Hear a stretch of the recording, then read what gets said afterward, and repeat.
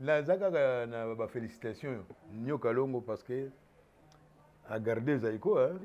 nyoka longo parce que biso toza kokende kozwa ye mingi kuna nalama eh, nakoki koloba ye moto aprofite na mosala yango bon tokutanaka susu mingi te Mesdames et messieurs, chers amis téléspectateurs, merci pour votre sympathie et attention sur votre chaîne.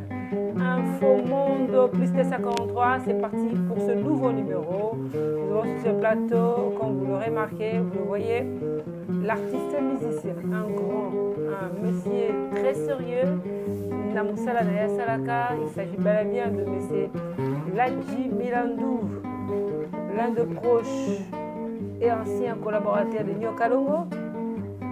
Marcelin Delo et tant d'autres. Papa Wemba aussi. Ouais. voilà, toyambi na kati ya émission pour la troisième fois. Esengo eza ebele hein. Ebele. Mobeti lindanda ya sérieux. Bato baolaka yango bayoki yango déjà basentir sante malamu papa. Vraiment la santé eza bien. rythme wana elingi eningisa ngai ye mpe ndenge elingi eningisa ngai eningisi bato bana bandeko eh? oui mais pourquoi pas euh, voilà mm. nasali ya nyonso tanga kitoko mm. par rapport ya bacollaborateur no nyonso wana natangi et tant mm. d'autres cetadi baza ebele et l'encadreur formateur de manuako aussi azolanda biso topesi ye mbote ebele na kati ya suisse voilà topesi manuako pepe manuako mbote ebele alors euh, Monsieur Ladji Milandou, Mbote. Mm, Mbote mingi. Musique ezo évoluer bien. Musique oui, ezo évoluer très très, très bien. Très bien. Mm, très très bien. Mais rythme moi ningisi bato ebele, mais na habité maloba nango kaka nde ezangaki hein. Ah oui. Mm, maloba nango ezangaki. Maloba ezali ba rythme ya kala. Mm. Tango biso tozo yekola guitare, mm. soko oyebi rythme oyo te, donc oza na yo guitariste te. Ah bon? Baza kobenga yango nzambele. Nzambele. Ezaki ya bandeko bon baya couche moko sociale ezalaki mpe koexiste bazalaki mpe na ndenge na bango ya kovivre hmm. à peu près neti actuellement bajeune ndenge bazosala o oh, hmm. kuluna o oh, nini bon bango bazalaki bayanke hmm. hmm. bayaki oh, bato ya mobulu mpenza te eh, ebanda kala donc euh, bazalaki na ndenge na bango ya kovivre mm. mm. alors bazalaki na miziki oyo nasepelaki nango mingi mpe na ntango biso toyekola guitare il faut oyeba nzambele soki oyebi nzambele te eh, vraiment euh, oza te mais rythme yango ti lelo e, e, eyokanaka ondie mpe bato mosusu bainterprete yango bazongela bayemba yemba yango eh, banzembo na bango oui namona papa wemba yemba yango hmm. voilà tolandaki mpe euh, nyoka longo azali moninga na yo oyo Vous travaillez qui na Belguide, hein? Oui. Orchestre oui. wana. Oui.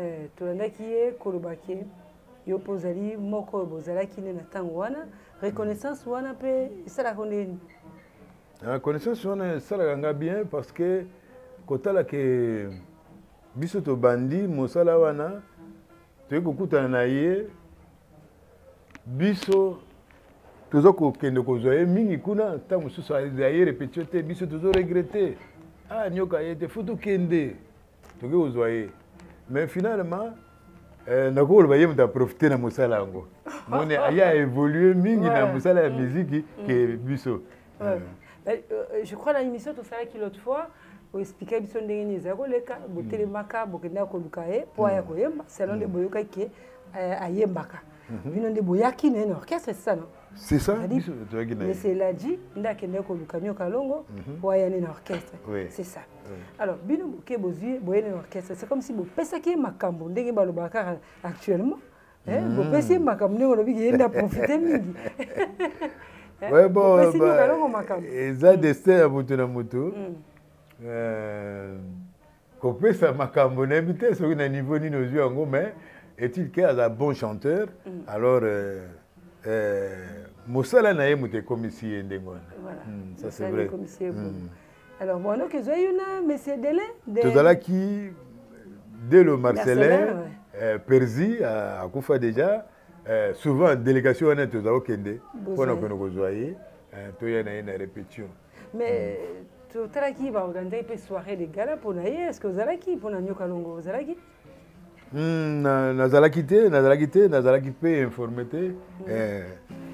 ozalaki te mpo na nini tandiki yo oza motu oyo ozalaki okende ozwa ye yo nde ozwaka yo yene na orchestre mais ozalaki na soirée de gala te ndeni eh, bo tokoli eh, omoni bamama baza koloba bokabwana bokabwana biso yebi te tokokabwana te mais or ke bamama baza koloba yango na sens ke lelo bokokola moto na moto akozwa baoccupation na ye moto na moto akozwa bacharge sociale na ye mm. abali bana tout ça eh, bon alors ekoki bozala na temps moke ya kokutana lisusu mm. je crois ya dans ce sens là wana bozala otambola mingimingi nana bon lero wana bamama baloba bokabwana ah. bozalaki mingi na nani mpo balobaki bokabwana bon baninga surtout ya bana eyala mm.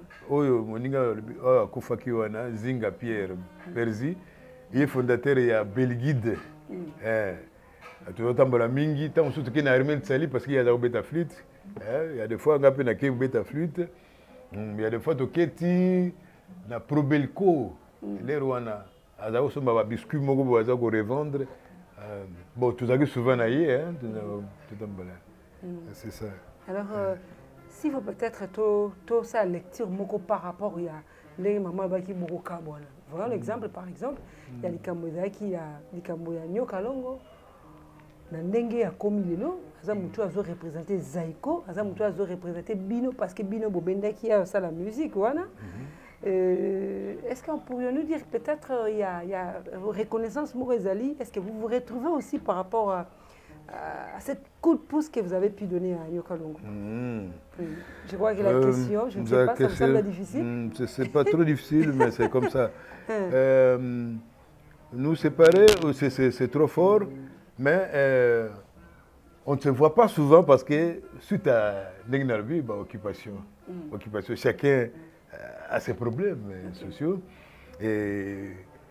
ekosala ke naza komipesa mingi na baproblème na ngai donc mm. temps ya rencontre wana eza mpena te mais je me rappelle parce que nyoka apesa biso invitation on était là à l'église saint joseph na ntango moninga na biso gege mangaya akufaka a témoigner devant bato alobi tala bato basalaki ke ngai nakoma boye après ayebisi biso ngai naza na garde du corps te il faut balati bato bazotala yo ebele à chaque fois que toyambaka na émission na biso bato basepelaka parce que bazwaka ya sika surtout na makambo etali musique hmm. kasi yo mpe lindanda ozobeta boye obetaka makasi bandaka oza mpe na bano encadre balakisaka yo mpe na motu moko songolo te mm. oui justement euh, ngai ezalaki bon tobotami nango hein. mhm. nazalaki kodebrie ngai moko na manzanza ya huile huile moko d'arachide mpenza bakotekaka la donc toza kosala yango guitare mhm. et de cela naye kozwa perfectionnement na ngai na papa diabanza diabanza oscar ye nde moto aencadre ngai mpenza makasi na makambo etali guitare mm. alors kuna mpe epai na ye soki tokei azalaki na bami na ye bakoya baguitariste susu ya makasi natanga par exemple reyilema mm. natanga françois matwila epuis na kati ya balabala wana kaka bazalaki na papa moko so azalaki na oswe kaka papa ntimba mm. ye ayebanaki mingi na saxophoniste mm. me nzoka nde azalaki bon guitariste mm. donc oyo tolobaka ke jazzman ya kosakana te alors de temps à autre omoni toza kofréquente bato mm. wana eh, bango mpe baza koya ntango mosusu epai ya diabanza eh, meme bachanteuse ebele nakutaki kuna bamiss bora ba, ba, baitisomba bato ebele bazalaki koya epai na ye alo sepelaki mpe kosala barelation na bango alo na baguitariste na bango mpe bazalaki na, na, na, na, na bango kotravaille tozalaki koprofite kozwa ne fils que un vocabulaire mm. musical par exemple na, na ba, bon, moninga abeti boye yo mpo ah eloko yango kitoko olakisa ngai kaka ndenge wana nde tozoka évolue Ah. mais fondation na ngai mpenza ezali badiabanza wana ah, badiabanza mm, mm. voilà tolandaki mpe euh, nio kalongo azali moninga na yo oyo botravaillaki nde na belguide orchestre wana euh, tolandaki ye koloba ke yo mpe ozali moko oyo bozalaki nde na ntango wana reconnaissance wana mpe esalaka ndeni ah, connaissance wana esalaka nga bien parce que kotala ke biso tobandi mosala wana toyei kokutana na ye biso toza kokende kozwa ye mingi kuna ntango mosusu aye repetitio te biso tozo regrete ah nyoka ye te fo tokende toke kozwa ye mais finalement eh, nakoki koloba ye moto aprofite na mosala yango moni aye aévolue mingi na mosala ya miziki ke biso Euh, euh, euh, je crois na émission tosalaki l'autre fois oexplike biso ndenge nini ezali koleka hmm. botelemaka bokendaka koluka ye mpo aya hmm. koyemba selon nde hmm. boyokaki ke ayembaka mhm. bino nde boyaki na ye na orchestre c'est ça non c'est ça monsieur ladi nde akendaki koluka nyoka longo mpo mhm. aya nde na orchestre c'est ça alors bino boke bozwi boye na orchestre c'est comme si bopesaki ye makambo ndenge balobaka kaka actuellement Eh, mm. bopesi ye makambo ndenge olobi keyende aprofite mingi eza mm. destin ya moto na moto mm. euh, kopesa makambo nayebi te soki na niveau nini ozwi yango mais est-il ke aza bon chanteur alors euh, euh, mosala na ye moto ekomisi ye ndenge wana ça c'est vrai alors bon donc ezwa yo na monsieur delin oza motu oyo ozalaki okende ozwa ye yo nde ozwaka yo yene na orchestre mais ozalaki na soirée de gala te ndeni eh, bo tokoli eh, omoni bamama baza koloba bokabwana bokabwana biso oyebi te tokokabwana te mais or que bamama baza koloba yango na sens que lere bokokola moto na moto akozwa baoccupation na ye moto mm. na moto azwa bacharge sociale na ye mm. abali bana tout ça Eh bon alors ekuku bozala na temps moke ya kokutana lisusu mm. je crois ya na, dans ce sens là wana mais... wana bozala otambola mingi mingi nana bon lero wana mama ba mama balo ba boka bwana ah. bozaki mingi na nani po balo ba kiboka bwana bon ba ba ninga surtout ya bana eyala mm. oyo moninga oyo akufaki wana zinga pierre perzi ye fondateur ya belguide mm. eh tozotambola mingi ntango mosusu tokei na armel tsali parce que ye aza kobeta flite Eh, ya de fois nga mpe nakei kobeta flute mm, ya de fois toketi na probelco mm. lere wana aza kosomba babiscuit moko boye aza korevendre euh, bon tozalaki souvent na ye totambola mm. ah, c'est ça alors euh, si faut peut-être tosala to lecture moko par rapport ya ndenge mama abaki bokokabwana voilà l'exemple par exemple ya likambo ezalaki ya likambo ya nyoka longo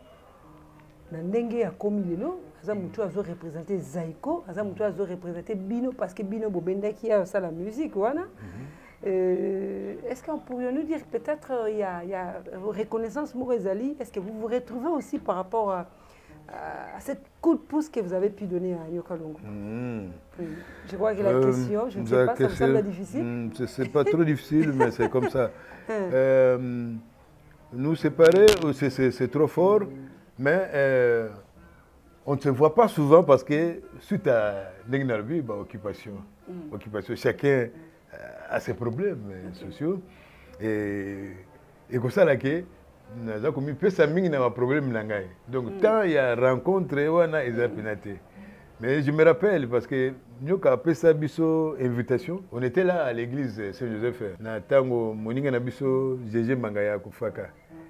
A témoigner devant bato bitala bato basala kenga na koma boye.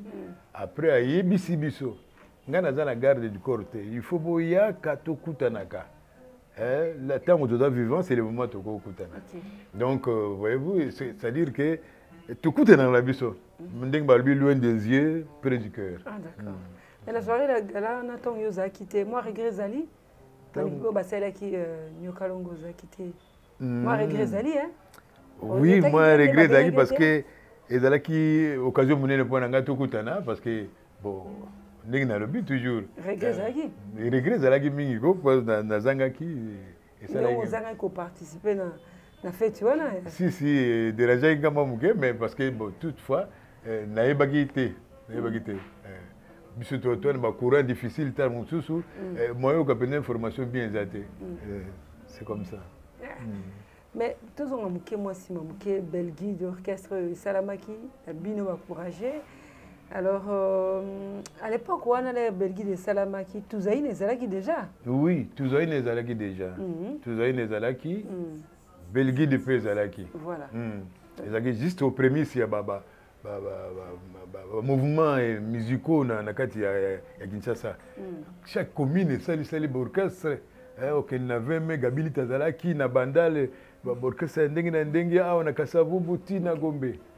Hmm. Et alors que euh, mutu nyonso azalaki kosala effort amonana.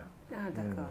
Hmm. Euh, mais tozali na ipare yanda otya bino mosukusuku mingi azalaki na succès ebele à l'époque là bozalaki mpena na face ya kotenir euh, liboso ya tuzaina bon kotenir tuzaina ezalaki moins difficile tuzaina azalaki motu moko asalami na kati ya commune ya makasi mm. et puis azalaki na ba, ba fanatique ba donateur mm -hmm. ya makasi koleka mm -hmm. c'est ce qui a fait que bazalaki likolo et puis bazalaki na ba bon musicien mm -hmm. hein. ba, ba musicien bon ba ba ba ba, ba sawa ba ba vie na biso babeta ba drum ba nini mais est-il que il y a une histoire là mm.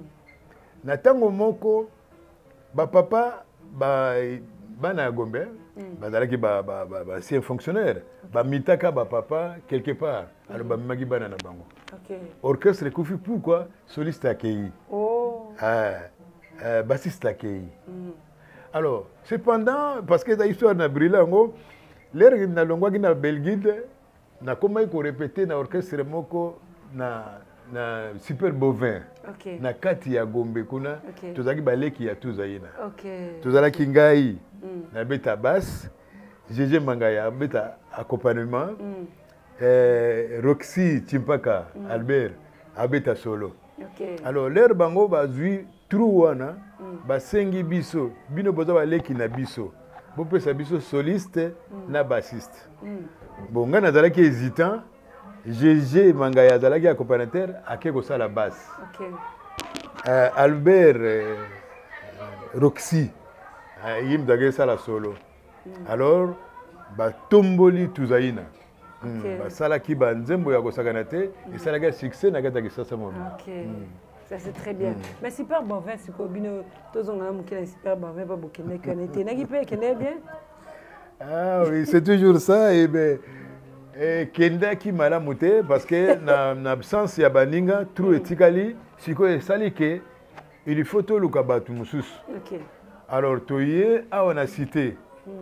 parce que ba fondateur ya, ya biso eh, kombo na ye odon asi akufa azalaki kofanda na force publique bo bamosusu augustin bazalaki mpe na ndako mosusu basombaki na kimbangu kuna mm. alors tokitisaki orchestre kote oyo okay. du nga moto nazalaki charge ya koluka bamusicien mpo na koremonte orchestre esusu okay. alors naza kotambola par hasard na kote ya kalamu kuna na na fokombele à l'époque babenga yango fokombele oyo ezali babenga nini fokombele eh, kimbangu hmm. alors nakutana na garçon moko azobeta gitare ngai ah mais petit oza kose débrouiller bien mais babiloko ezangi yo na ko former yo lisusu garçon wana kombo na ye pablito mm. pablito na forme ye ndenge omoni manuaka azobeta ndenge pablito abeta bavitesse okay, wana nyonso okay, okay. mm. alors aye kobima tomeki me makambo esimbi te ye pablito alongwe ake kokota na orchestre moko ya bana ya 20 mai mm -hmm. stukas boys wana eh, ya euh, Gabi Lita. Ok. Alors, Gabi Lita Bembo. Lita Bembo, justement. Alors, siko, a komi kona a changé combo Zamunga. Mm. Euh, na bato bayebi ye soki batali rapport ya Zamunga na Manuako donc nga nde mutu na, na forme bango na forme bango ah. ba, ba vitesse na bango ba, okomona à peu près pareil euh, mais Gabi Lita à l'époque azalaki kotya bino mpe molunge succès ezalaki mpe makasi hmm, stukas stukas we azalaki na succès na ye na ndenge na bango hmm. mais mpo na kotya biso molonge en tout cas non hmm. parce que euh, tozalaki parmi les bons orchestres ya kinshasa ngai nazalaki na orchestre les aisés na super bove lisusu tozalaki kobeta malamu mpe kolanda bato ozali na wana bon eh, gabilita c'est vrai mais kozala likolo ya biso te ozalingaka mino te toyebi te endimamaka te bato moto mpo andimaka moto aleki ye surtout na musique oyo surtout bamisi eza mwa mpasi eza mwa mpasi likolo kwanga azalaki kotya bino mal lipanzi likolo mais pas tellement bato baza mingi bakotemoine likambo yango meme ye moko na poto azali azoyoka me eh, ah, me akoka kozala likolo ya, ya, ya, ya, ya batuzaina te ya ba...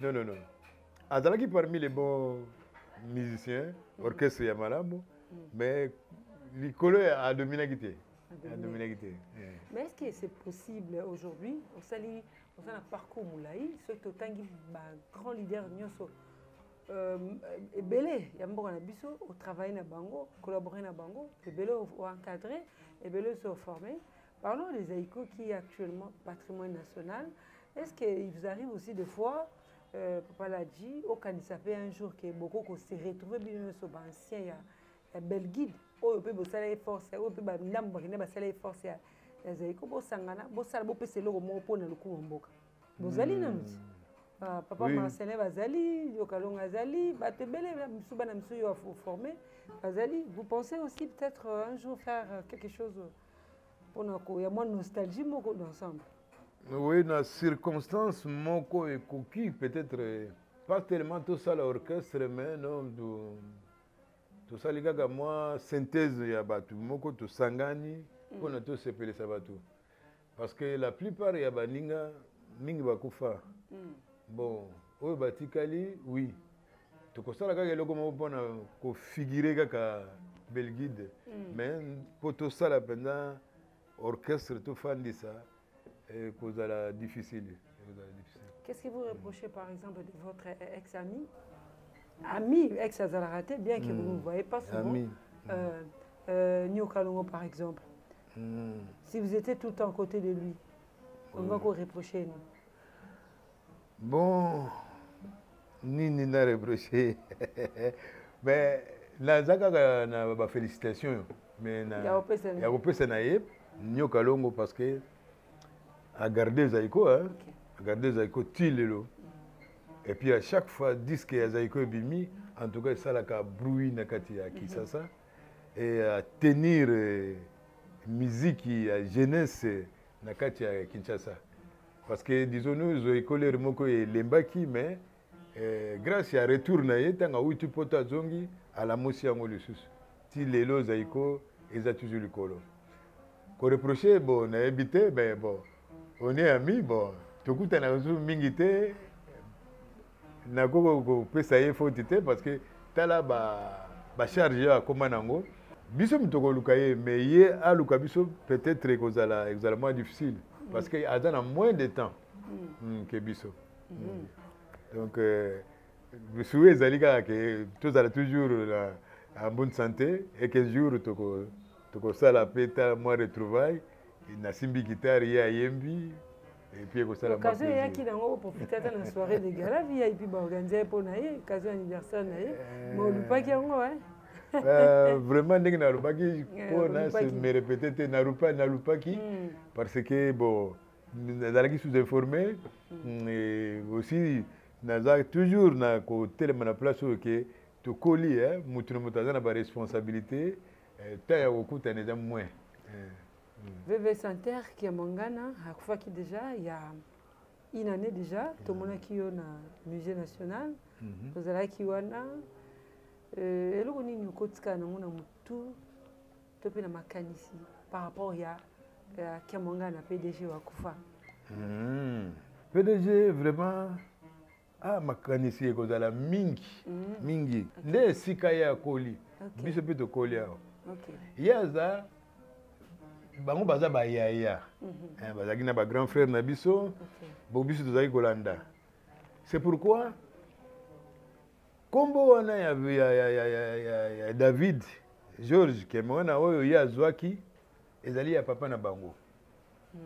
alors kombo mobimba ya tata na bango ezali euh, euh, david david george david je crois euh, euh, george euh, george kombo wana ya, ya tata na bango voilà. mm. alors bango bayaya na ye ya basi baza kobenga ye papa po azwa nkombo ya papa na bango alo biso tozokanisa nkombo yango yango wana papa alo biso tozobenga olio toloba yaya mm. tolobi yaya papa oh. croyant ke mm. eh, nkombo papa ya ye eh, donc lere baye koyebisa biso masolo yango nde tosepelaki tosekaki mingi ah eh, biso toza kobenge ya papa donc soki okutani na nzela olobi ya papa mm. meme azalaki na bato mosusu il faut aluka yo parce que amoni mpenza no wana fo ayeba nga voilà. eh.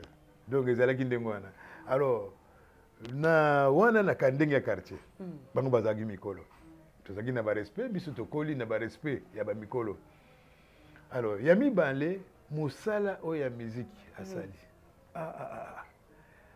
veve bien ke bato balobi moto nyonso azalaka na mabe na ye bato bakoloba ah, azalaki boye azalaki boye mai soki verkis te en tout cas na kisasa to na congo nde borchestre e, e, eyebani te obie mm. e, evivre ndenge boye te mm-hmm. parce que grâce ya verkis nde borchestre nyonso eyaki kofongwana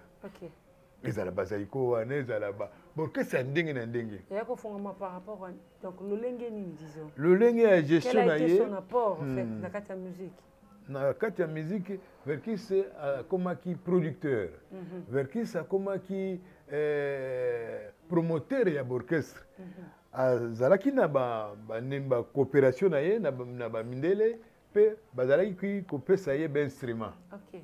alors à chaque fois azwi instrument ntango mosusu 50 pere ya bainstrument ekoya ye aza koencadre na yango na jeunesse aza kodistribue na baorchestre et puis moyena peut-être bosali banzembo euh, ye apesi bino bainstrument kaka ndenge wana donc euh, na ntango ya kala bapromoteur balaki mingi te mm -hmm. alors ye moto asali vraiment promotion ya baorchestre na kati ya kisasa et y compris mpe orchestre na bino est ce que ozwaki mpe occasion na chance wana hmm. orchestre na bino mpe yo moko pour ke aproduire ou encore asala promotion yango bon orchestre na biso ntango biso tozalaki koexiste na baperiode avant zaiko mm. euh, wana vergis nana akomi na bamoyen ndenge wana te azalaki nano mpe Ah, ko dépendre na franco azalaki na ok jazz okay. eh, donc azwaki nano bamoyen te c'est ainsi peut-être que tozwaki chance wana te wana olobi bacoté positif mm. peut-être mm. oyo asalaki par rapport à musique mm. et bacoté négatif ya ye moko parce que bato misusu balobaka bien mpo na ye misusu balobaka mabe mpo na ye mm. alors du côté négatif par exemple tu as eu le temps peut-être comme azalaki mpe vie na bino mm. euh, tu as eu quand même le temps aussi ya koyeba ye mwa ndambo oui. du côté négatif en fait Bon, bah... là c'est trop difficile. C'est solo très difficile parce que ah chaque bon? fois, surtout balobaka, moto ya kufi, hmm. koloba mabe na ete. Voilà. Mm. Mm. Alors, mais nalingi loba te kazalaki mabe non. Parce que biso attaque yaya ah mais tokomonaka yaya na biso te. Hmm. Même asali mabe. Faut tokotela ye kaka, hmm. mais tokoki komona mpe mabe yango mpenza te omoni mm. parce que yaya mm. c'est comme ça ça c'est très bien mm. alors euh, euh, papa ladi bato bazotala biso tozwaki morceau moko moke oyo ezalaki ya ntango ya kala c'était très intéressant mais soki tobi morceau moko lisusu ya mwa rumba ya kala oyo bino bozalaka mpenza oyo efandisaka série na bino wana mpenza bien na kati ya, ya congo ya kinshasa awa rumba yango eza nini mpo epermata biso tosolola moke lisolo ya rumba mpo toyeba kosala différence entre rumba ya kala na rumba lelo esala bien Hmm. na kota barumba wana nayebi te soki nakobeta na bawendo soki nakobeta na nini omoni kaka efandisaka mwa periode na bino wana très bien ah, ah, ah, eh, tokosala différence moko moke ekopermettre biso toyeba ko basculer maintenant voilà chanson fétiche na bino hein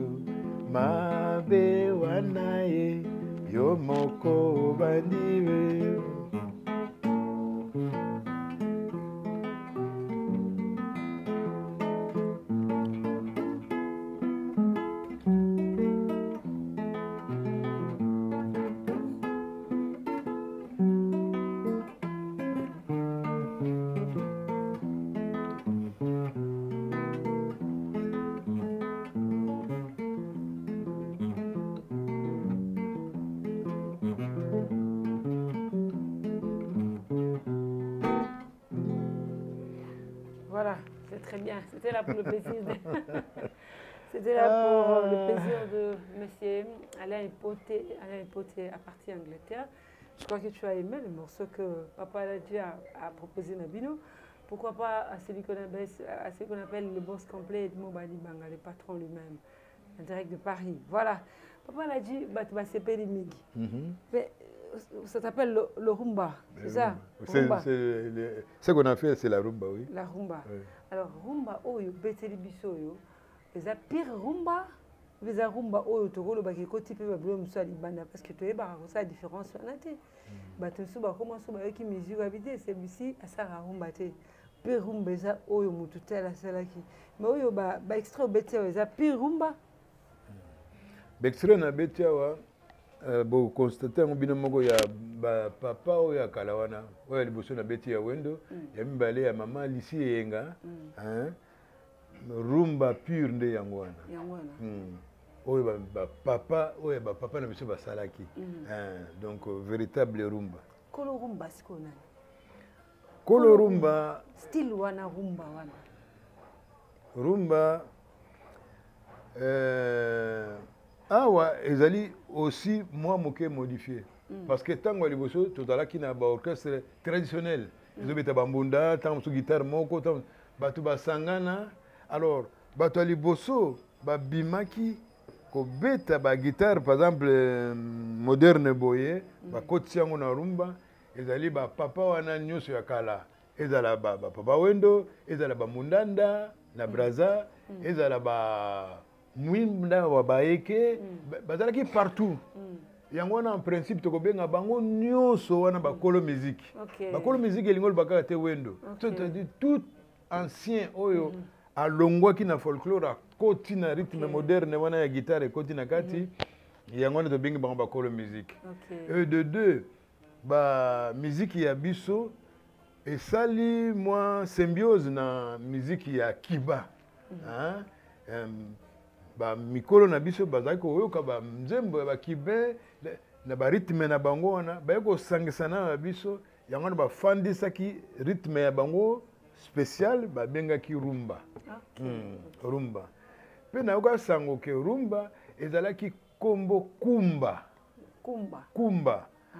kumba babengi yango na français lombril ntango mikolo baza kobina bakokutisa bakumba bakokutisa balombri bazobina eh, alors sikoyo mbambande mindele nde bakokaki kotya ka wana te ah. baye kotya r esali rumba donc rumba rumba ah, ah, alors yango wana esalaki ke nkombo eh, wana eke libela me miziki oyo ya pure oyo nalobi yango wana eyali esangana na oyo ya biso na ya kiba eye kosala spécialisation wana rumba mais kasi otangi grand kale te grand kale kabasele ya mpanya babi ye mpe aza kobeta rumba sérieux epuis akendaka mpe mboko kibo otangi ye te parmi ba Ah, olobi bato mibale à la fois mm. peut-être osali attention te grand calé euh, grand calé mm. eh, calé jeff ah, ye wana moto asalaka african jazz voilà.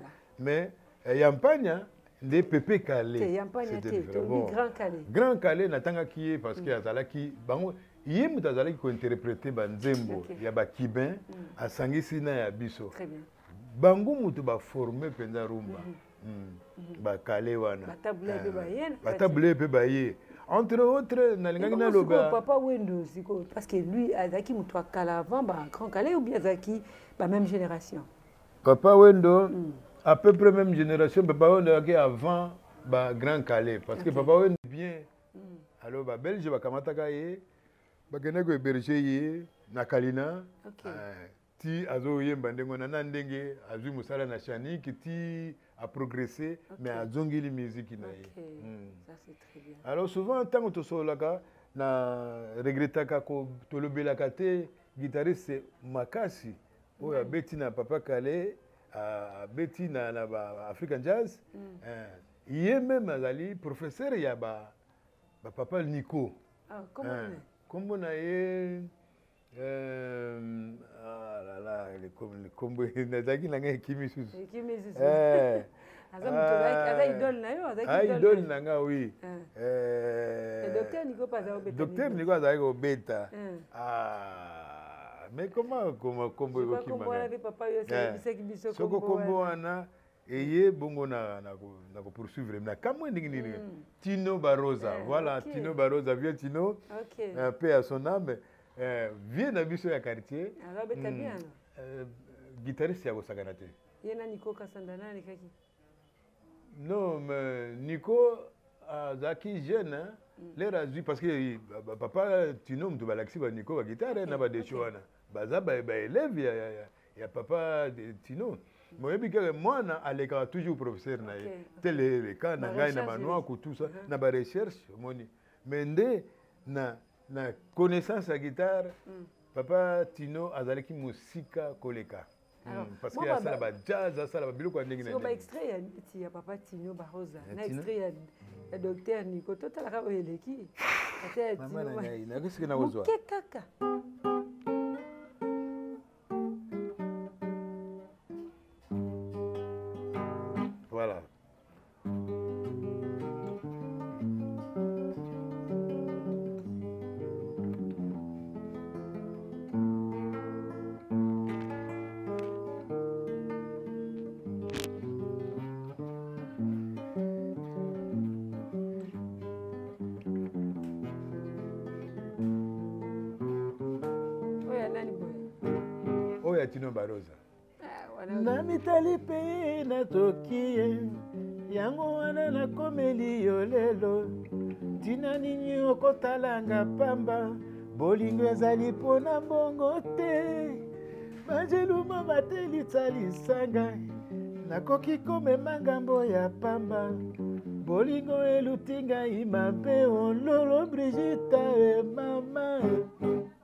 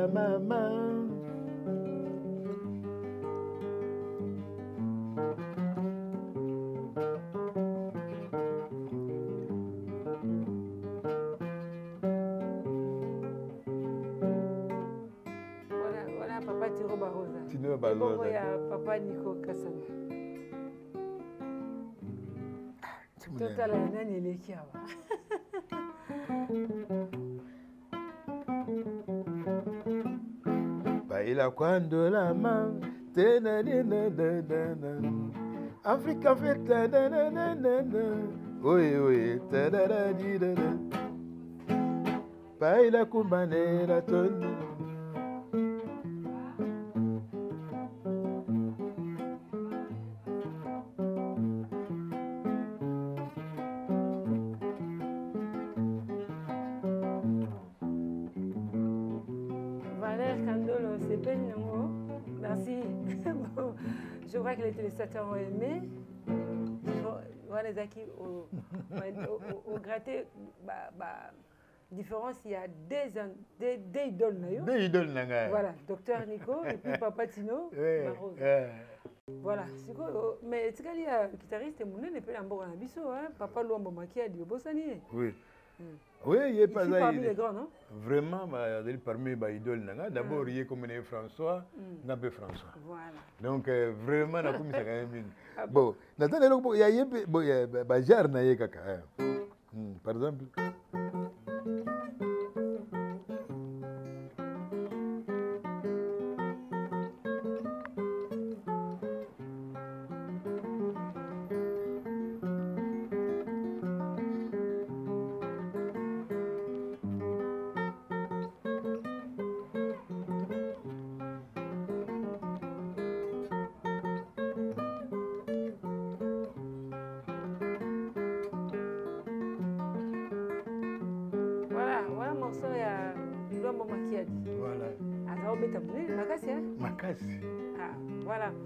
alors euh, na camp ya ba, ba grand guitariste wana na congo tokozwaka bango susu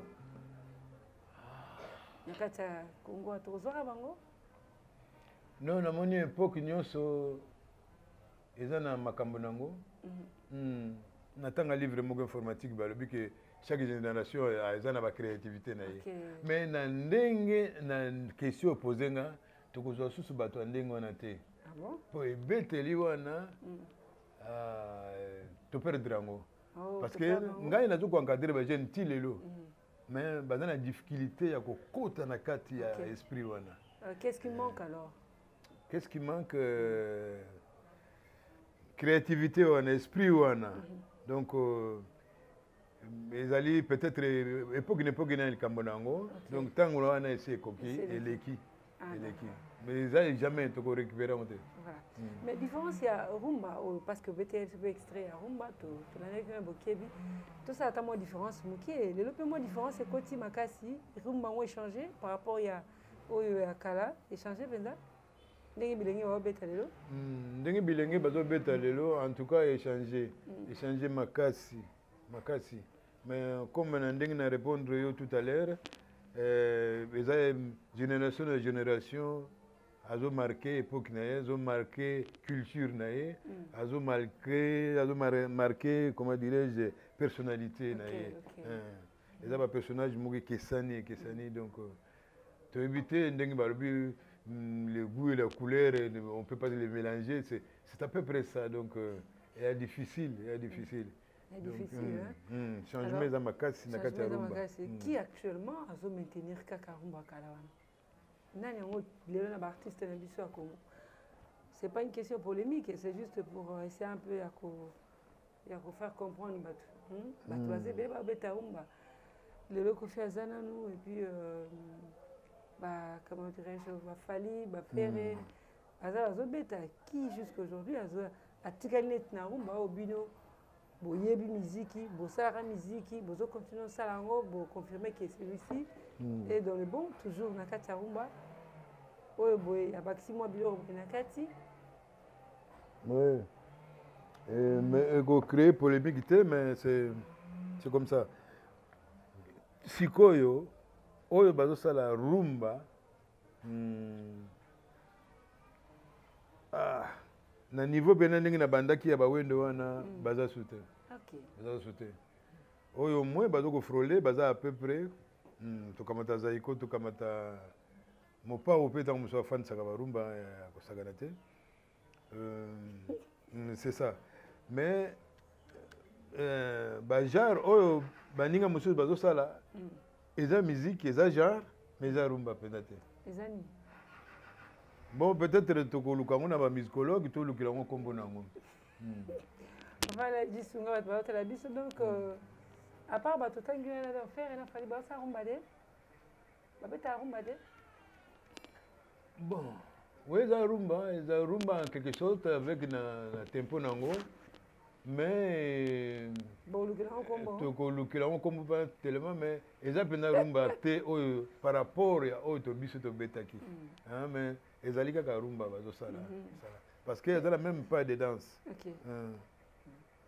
ah bon mais toyebi te toloba nini parce qu'il y a trop de mabanga même pas dedans ceza nango mais parce qu'il y a trop de mabanga vous refusez catégoriquement faut olukela yango kaka kombo par exemple mabanga ah, ça c'est autre chose c'est autre chose mm. encore euh, mabanga nde eye koderange kutu banzembo mingi parce que euh, ezokima teme ezobimisa eloko mosusu epuis na ntango na biso bamabanga wana ezalaki mpenza te hmm. donc euh, je ne sais pas ça dépend na bango moto bainvente yango badefendre yango hmm. Hmm, nakoki kopesa mpenza euh, est ce que bajeune artiste musicien congolais oyo ya génération oyo bazocartonne est ce que bakanisaka koya kozwa mwa coup de pouce epa na yo te ah bon Euh, quelques-uns liboko no pe gratter na ba album na bango po ba ba met baza na tempo ya ya originalité ya rumba hmm. bon nanu mpena nazwi ba ba quelques-uns tosala na bango euh, neti groupe oyo na encadraka sikoyo hmm. euh, bamosusu mpe baya tosala badiske nayebi kutu batitre yango te nayebi ndenge na yango te ekenda hmm. mais bajeune mpo baya ko apprendre bamosusu babangaka peut-être akomi na telema na succès azalaka likolo bayebi ye bongo aye soki epai na ngai hmm. me namona nani ekembe abetaka soki na jipe soki na nani eh, namona lisusu manzaka hmm. eh, manzaka aya eh, quelques-uns misusu nkombo nayebi mpenza malamu te bayaka ko consulter nga oui tosalaka tobenga jam session c'est à dire mwa bechange amachange ah, ah, mais hmm. so baye luko mpe ata na bango bazosala succès lelo makasi okondima na yo oh, mais pourquoi pas au contraire parce que biso euh, faut continuer kobeta okay. créativité ezali ti liwa il faut chaque fois mouvement ezala soki otiki guitare omoni maboko ekomi kilo susu Que dites-vous mm. par rapport ya ba concert minene oyo par exemple tomoni fallait akobeta na France na Paris mm -hmm. et puis euh, ndenge musique yango mpe ezongi kuna koto mpe simba benda bakombata balobi boye mais réellement ndenge concert eza confirme ke akobeta okoloba nini musique ezongi nango na poto tant que ancien et puis euh, euh, grand leader ya kati ya monde ya musique oloba nini euh, likambo wana nasepelelaka nango banda kala ke miziki na biso ebetamaka mpe ailleurs nazalaki na baregre mingi ntango tokaki baconflit esalamaki na bacombattant na bo toyebi histoire yango makasi te mais tokaki conflit esalamaki et puis esalaki ke bamouvement wana esaretaki mm.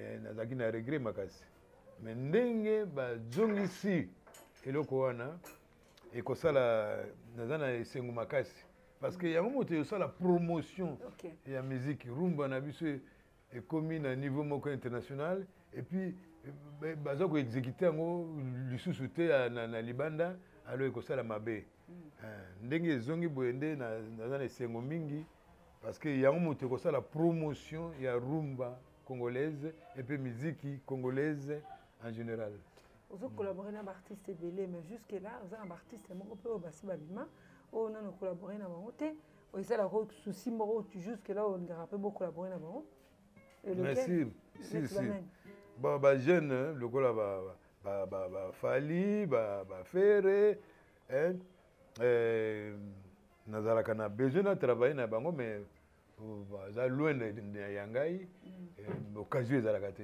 mm. eh, mais sinon nasepelaka na travaille na bango mpo nasololana na bango mm. wana eza Ma, masolo ya kati fo biso na bango kaka ah, d'accord na télévision te voilà tozokende na tuma mpo toshitela masolo na biso euh, papa laji qu'est-ce qui vous reprochez actuellement to généralise hein? qu'est-ce qui vous reprochez actuellement par rapport na, na musique congolaise oyo oh lelo ba insanité eza na kati ebele même tri euh, musicien akomi ko influencer pe musicien aza aza leader d'opinion aza pe tokoloba nini oyo euh, influenceur aussi mm.